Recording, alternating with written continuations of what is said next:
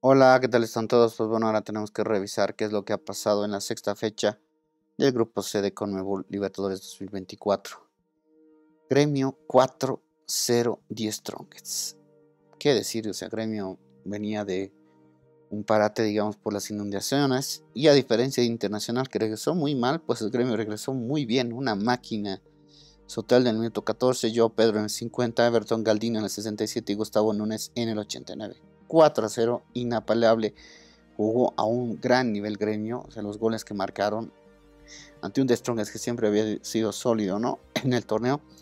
Una cosa interesante de estas estadísticas, fíjense, 20 remates tuvo Gremio, 9 10 Strongest, 383 pases Gremio, 454 10 Strongest, 46% de posesión Gremio, 54% 10 Strongest, o sea, tanto en pases como en posesión, ganó 10 Strongest, solamente perdieron los remates.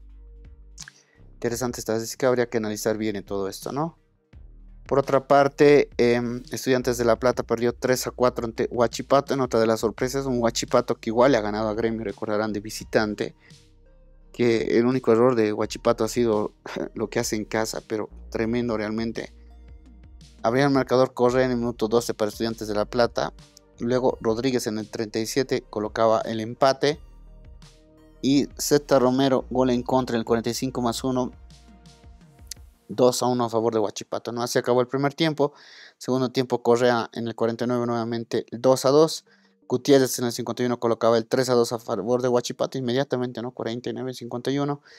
En el 63 Ascasiber colocaba el 3 a 3 y Villanueva en el minuto 90 más 5 ya sin lugar a reacción colocaba el definitivo 4 a 3 histórico. No recuerdo argentinos perdiendo en casa eh, contra equipos chilenos o contra equipos peruanos, pero ha sucedido esta noche tanto en Sudamericana como en Libertadores. 15 remates tuvo estudiantes, 8 Huachipato, ¿no? Tremenda la efectividad de Huachipato, o sea, 50% de efectividad. De, los 8 remates, 4 fueron al arco. Mientras que de eh, estudiantes, 30% pues, de efectividad o menos. 451 pases para estudiantes de La Plata, 303 para Huachipato, 60% de posición para estudiantes de La Plata, 40% para Huachipato. Y Strongest 10 puntos, Guachipato 8 puntos, Gremio 6 puntos, Estudiantes de La Plata 4 puntos. Entonces, 10 Strongest es... A ver, vamos a ver la última fecha, todavía falta por jugarse estos dos partidos, ¿no? 4 de junio, Huachipato contra Gremio, Gremio contra Estudiantes. 10 Strongest ya está en octavos de final. ¿Por qué? Porque se van a enfrentar Huachipato y, y Gremio. Y hay uno de los dos, pues, eh, si gana Huachipato a Gremio, Huachipato se va con 11 puntos. Eh, se quedaría segundo con 10, pero Gremio ya no lo podría alcanzar. De hecho, Estudiantes ya solamente puede buscar Copa Sudamericana. Ya, ya no puede alcanzar a Gremio. Y al único que puede sacar es a Gremio. Ahora, ¿qué pasa si Gremio gana este partido? Gremio sería con 9 puntos y Huachipato ya no tiene más partidos.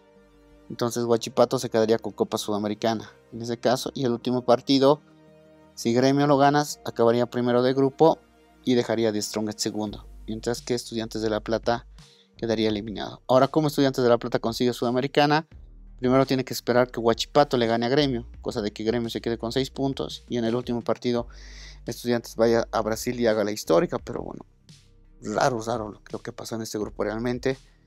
La cuestión es que se ha beneficiado de Strongest que está en octavos de final, pero repito, recién el día 8 de junio vamos a saber si es primero o segundo. O de acuerdo a lo que pase este martes 4 de junio también, ¿no? Pues bueno, ojo, ¿no? Huachipato se va a jugar el todo por el todo. Huachipato con un empate ya está.